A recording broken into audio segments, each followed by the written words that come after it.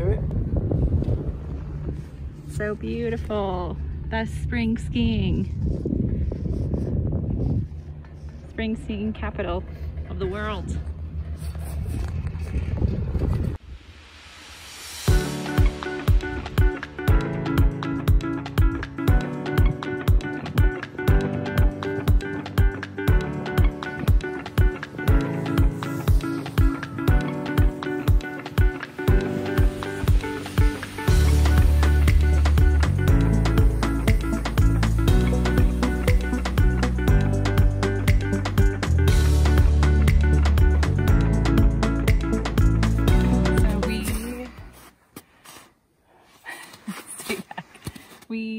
We would go for a hike and I picked a random place on AllTrails and we've had a lot of success with AllTrails. Well, we got here and it's not really a good place to park, but we risked it.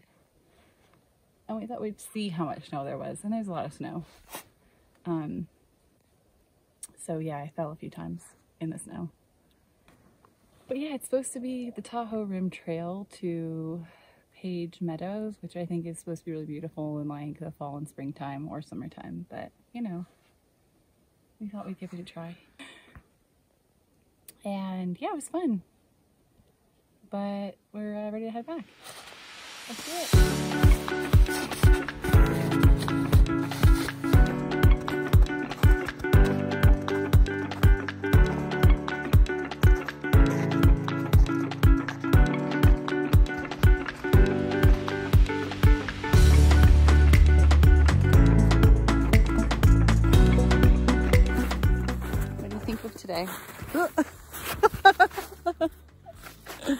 Okay, really deep there. It's fun. Would you do it again? Yeah, it's nice. Yeah, come without the snow. Well, I would continue still too, but we're not that prepared to be sinking every so often. Not for me. All right, let's go.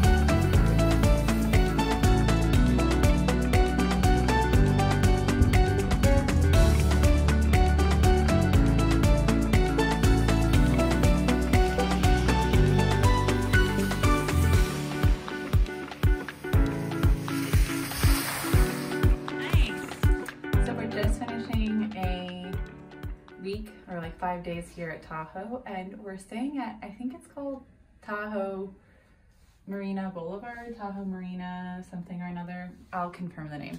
But we've stayed here in these buildings before and we really, really enjoy it.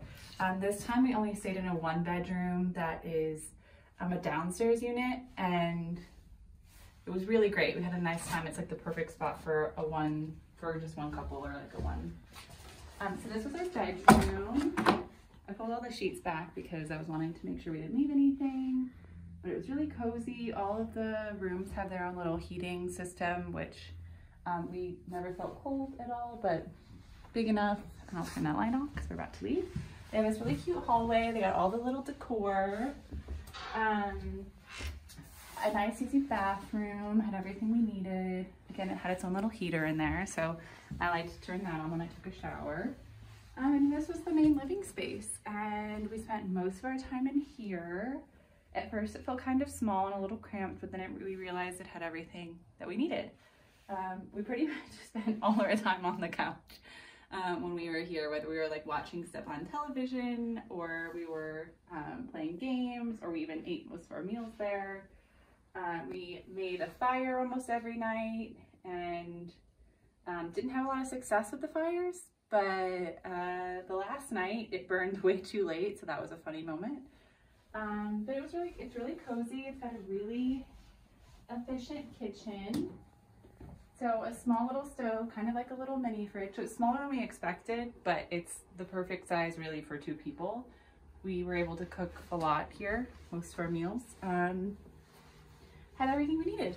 So that was great. And then I think my favorite part is that even though most of the view is kind of of this like garden area and some of the other buildings, you still get a really nice view of the lake in the mountains off in the distance. So um, you get a nice nature feel and it's been it's April but it's been so hot so we just spent the past hour or so sitting outside we get really great morning light um, and it was really warm got to read my paper drink my coffee and yeah we had a great time.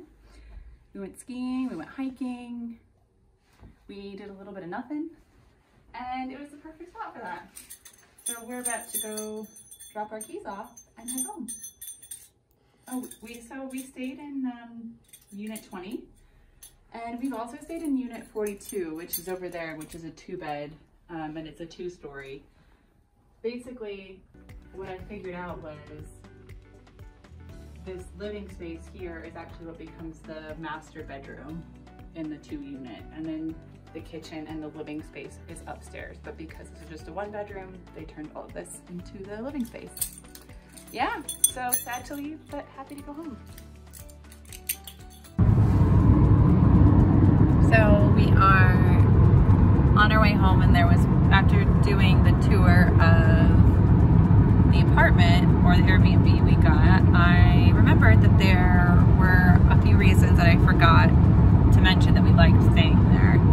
Uh, and it was because we went and got gas right across the street from where we stayed and right next to the gas station is also a grocery store. So one of the best parts about where we stayed is that it's centrally located in Tahoe City where a lot of things are walkable. So there's plenty of restaurants that are within walking distance. There's a trail along the lake, which is really beautiful, that goes on for a good amount, I don't know, miles we at least walked like a half mile or a mile of it last night for the sunset and there's a little beach and people were picnicking and having their dinners outside. It was really nice. And there's a bunch of restaurants along the lake there that had outdoor seating too with little heaters out.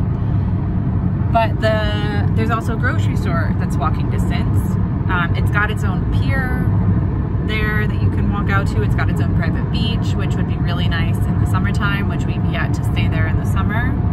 And there is other there's a pool. Yes, that would be great. I think there's tennis courts too, but I'm not sure. But there's yeah. a couple of things. There's tennis courts. Yeah, there's lots of oops, there's lots of things to do, and just everything is walkable, which I love. Um, and it's only like a 10 or 15 minute drive to Squaw Valley. Um, and you know, the, what was nice about the hikes there or the walking areas there is that everything was clear. There was no snow. So like the whole walking paths were cleared off. So you didn't have to worry about that. And that made it like a nice little hike. But yeah. 10 minutes to Squaw Valley. Yeah, 10 minutes to Squaw Valley. Said that. Thank you, honey. Um, the best mountain. Yeah, we really like skiing there, but we're to ski Heavenly soon. So we'll report back on what we think about that. Um, yeah, we're driving home. I'm kind of excited to be at lower elevation.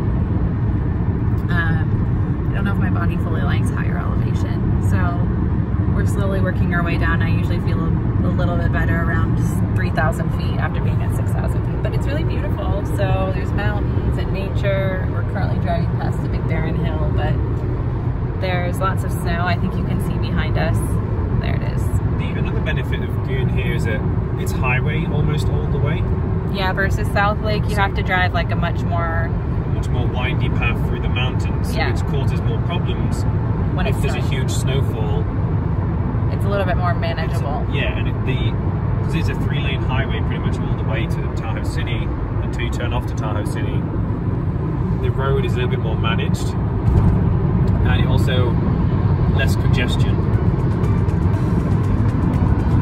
So there we go. That's why we like North Lake, I guess, because it's got Squaw Valley. It's got a little bit more of a nature vibe, um, and more like walking paths and things to do like that. Um, and the route there is a little bit more direct. You basically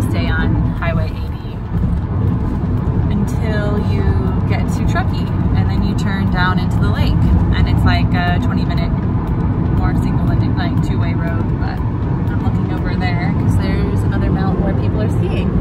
A little bit smaller of a mountain. Anyways.